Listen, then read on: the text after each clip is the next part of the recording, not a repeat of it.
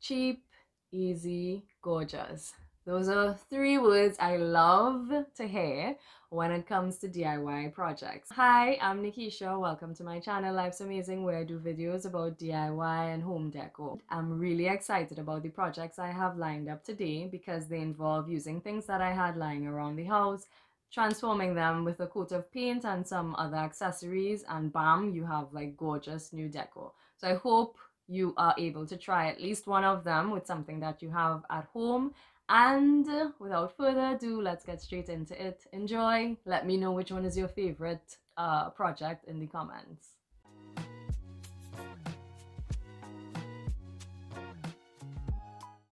For the first project, I upcycled a ceramic shell vase that we had at home for a while. My mom actually made this over 30 years ago and I decided to just give it a little update. I first tried to paint it using the baking soda paint technique, but then I ended up just spray painting it in the end. So first I sprayed it with my primer, white primer. And once that had dried, I tried at first to spray paint it with my white paint, but that wasn't working. So in the end, I ended up spraying it with the Rust-Oleum Heirloom White paint, which is a, a distinctly cream satin finish. And here's the final look after two coats of paint. I find that it looks really great as a planter.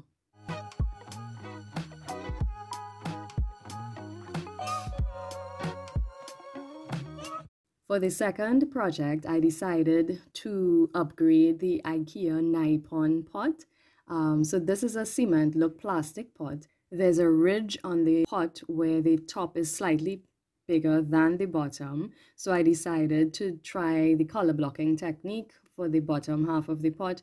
So I used some black acrylic paint and I went around the entire bottom half of the pot with two coats of black acrylic paint, letting it dry in between coats.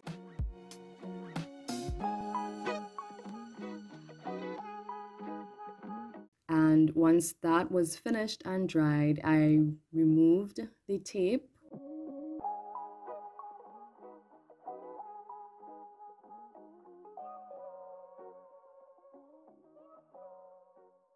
To add the ring to the pot, I used some Gorilla Glue and I applied it with a very fine brush and I just made a fine line, applied a fine line of the glue right around the diameter of the pot. So we all know how strong Gorilla Glue is. I used a very little bit of glue and once that was applied on the rim, along the rim of the pot, I added my ring because Gorilla Glue is very liquid. Well, this, this, this type of glue is very liquid. I just let the pot sit for about maybe an hour and then this was the final look. It was such a simple hack and I love how it transformed the pot into a very, very modern and chic piece of decor.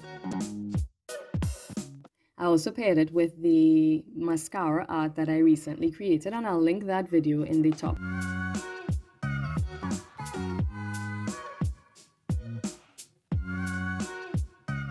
For the third project, I am just updating a box that I've had on hand with some, I'm adding some legs, using some gold spray paint, and I'm using spackling to fill in the design that's at the top of the box because I want a smooth top.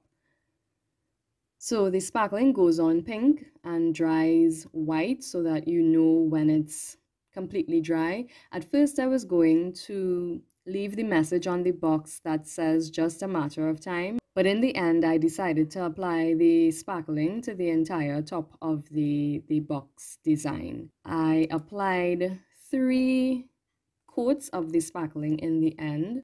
Once it was dry, I sanded off the excess spackling Wipe that off with a microfiber cloth and then I also sanded the entire surface of the box just to make sure everything was smooth and to take off the top finish of the box to prepare it for painting.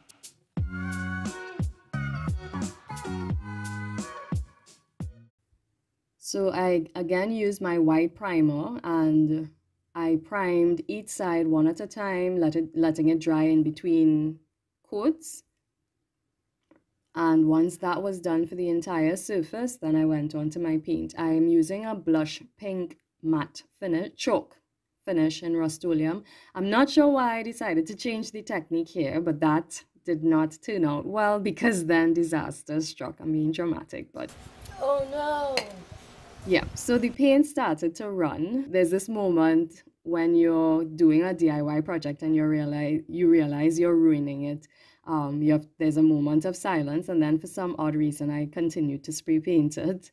Um, but if this ever happens to you, where you overspray, um, because ideally you want to spray light coats, um, but if you overspray, you can use a piece of tissue and dab at the where the paint is running and once you gently dab it away, you let the paint dry and then you can sand the surface down to get it smooth and then repaint it. If you notice that when it's already dry, you can also go straight into sanding. So after sanding, I sprayed it the correct way, which is one side at a time, and I did two coats each side. For the legs on the box, I gave those a coat of the gold spray paint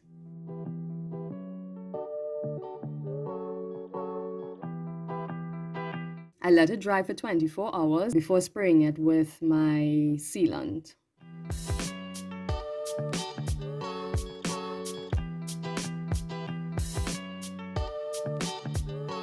Once the legs were dried, I used my glue gun to apply the legs to the box.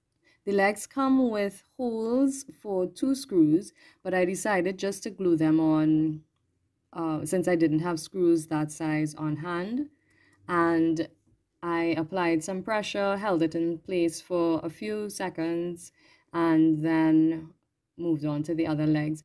Once that was dried, it was time to decide on the knob. I was playing around with three options. First, I tried a cover from a lotion bottle, a small lotion bottle that I had from years ago that I had saved. And I also tried using two different sizes of wooden beads. But in the end, I decided to go with the lotion cover. So I spray painted the cover with the same gold spray paint and then I applied glue onto the inside of the cover around the the diameter, making sure that the glue did not come out onto the top because I didn't want it once I pressed it down for it to be visible on the outside.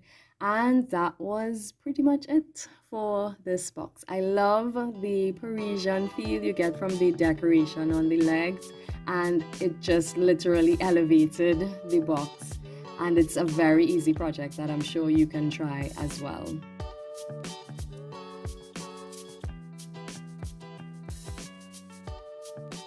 And that's it for today's video. Thanks so much for watching and I've linked another video that has some DIY home decor projects that you can also enjoy next.